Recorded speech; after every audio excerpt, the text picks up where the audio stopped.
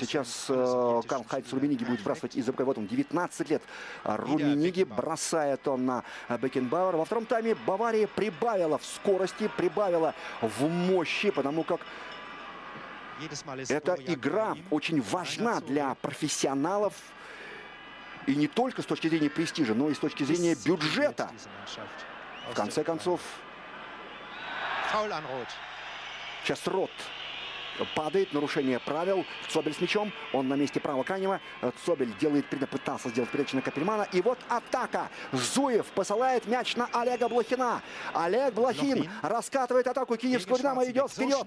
Идет вперед наш Шварценбека. Рядом с ним Вайс. Уходит Блохин от Шварценбека. И удар. Гол. Вот он.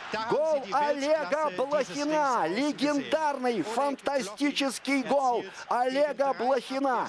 Шварценбек оказался не удел. Рядом Вайс. Тут и Цобель прыгает. Хорсман опаздывает и бьет. Бьет с левой. Блохин мимо Зепа Майера.